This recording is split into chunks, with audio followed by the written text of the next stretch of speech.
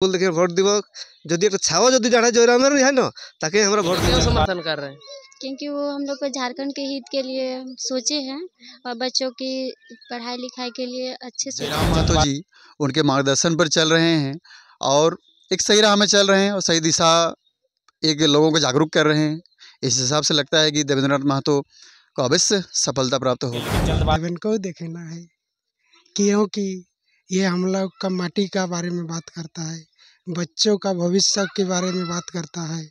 और आज तो बहुत नेता आ गया। जैसे संजय सेठ।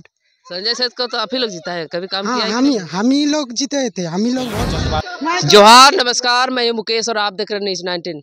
अभी मैं हूँ इचागढ़ प्रखंड के पिलीट टोला खेड़बन में। मेरे साथ कुछ लोग जुड़ चुके हैं।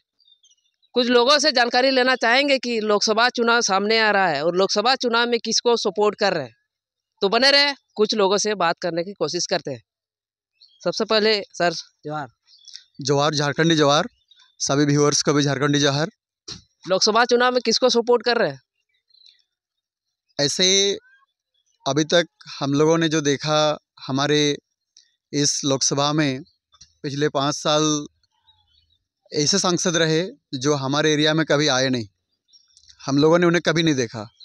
हमारे आते हैं बट लगता है कि वो बड़े बड़े जगह में शहरों में घूम के चले जाते हैं। संजय सर बड़े बड़े वादे किए थे पूरा किए कि नहीं किए?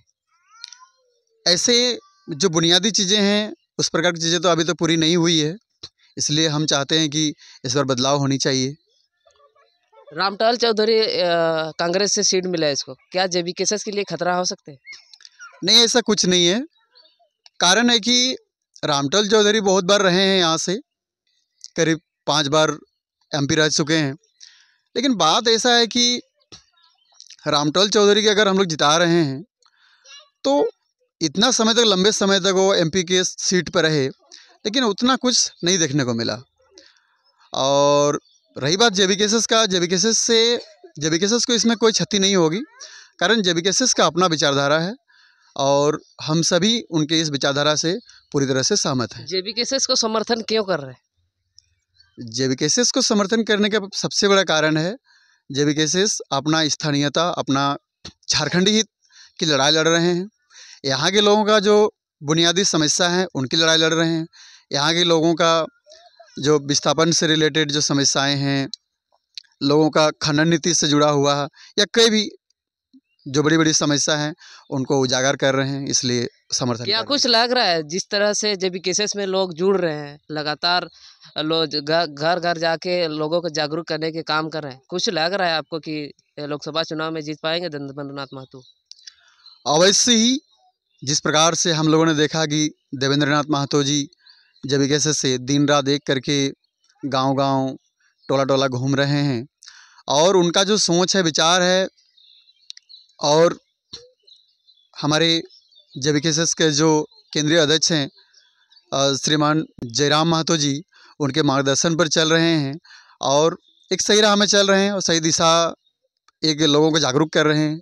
इस हिसाब से लगता है कि देवेंद्रनाथ महतो को अवश्य सफलता प्राप्त होगी। और भी लोग हैं उन लोग से भी जानने का प्रयास करें। सबसे पहले दादा जवाहर। हाँ, जोहार आपका चैनल को भी जवाहर। किसको वोट दे रहे हैं लोकसभा चुनाव में? इस बार तो देवेन को देखना है क्योंकि ये हम लोग का माटी का बारे में बात करता है बच्चों का भविष्य के बारे में बात करता है और आज तो बहुत नेता आ गया जैसे संजय सेठ।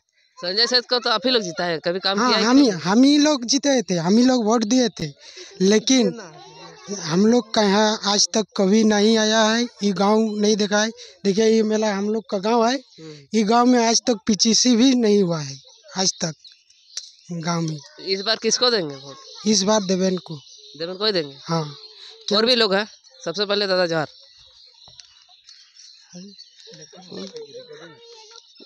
किसको वोट दे रहे हैं इस बार? এবারে আমরা জয়রাম ইহা জয়রাম মাহাতোকে ইহা স্যাম্পল দেখে ভোট দিব। যদি একটা ছাও যদি জানে জয়রামের ইহা ন তাকে আমরা ভোট দিব এবারে। বিজেপিকে কেনা নাই দেবে? বিজেপিকে বিজেপির বহুত বড় পার্টি বটে। এরা গরিবের হিতে কোনো বাদ করে নাই ছালিয়ার উপর কোনো আওয়াজ উঠায় নাই। ছাত্রদের ছাত্রা ছাত্রীদের জন্য কোনো খালি দেখাওটি এরা ইয়া করে। কিন্তু ওদের ভবিষ্যতে যে কী হবে কী নির্মাণ হবে তার জন্য এরা কোনো চিন্তা করে না এটুকু দেবেন্দ্রনাথ মাতো এথা খাড়া আছে কো- কিছু লাগছে জিতবার এবার হান্ড্রেড পার্সেন্ট জিতবে যে যে যেটা রুঝান আসছে সবাই পাবলিকের এথার জন- জনসম্পর্ক যে আসছে ও জিতে থাকবে এবারে बने रहे और भी महिला लोग हैं उन लोग से भी बात करने की प्रयास करेंगे सबसे पहले जवाहर जी झारखंडी जवाहर आपको इसको समर्थन कर रहे हैं लोकसभा चुनाव सामने आ रहा ये अभी जयराम महतो को ही देंगे है जयराम मातो यहाँ से नहीं खड़े हो रहे हैं देवेंद्र नाथ मातो हाँ खड़े देवेंद्र नाथ को हैं। उसको क्यों समर्थन कर रहे हैं? क्योंकि वो हम लोग को झारखंड के हित के लिए सोचे हैं और बच्चों की पढ़ाई लिखाई के लिए अच्छे सोचे हैं गाँव की भलाई के लिए। गाँव घर का बेटा है ना वो? हाँ इसलिए उसी को देना है। इसीलिए उसी को देंगे। किसका क्या देवेंद्र महतो का। ये संजय सेठ के नहीं ना। क्योंकि वो स्टूडेंट कोनो करे नहीं। और जयराम मह देवेंद्र नाथ महतो के देखछी कि कोनो भी कुछ भी कोई साल लिख होचे तो मतलब विरोध कुछ की? हम्म। तोरा का क्या दिबे सभी महिला का यही कहना है कि इस बार देवेंद्र नाथ महतो को ही वोट दिया जाए। आगे फिर वीडियो में मिलते हैं बने रहे। जोहार नमस्कार।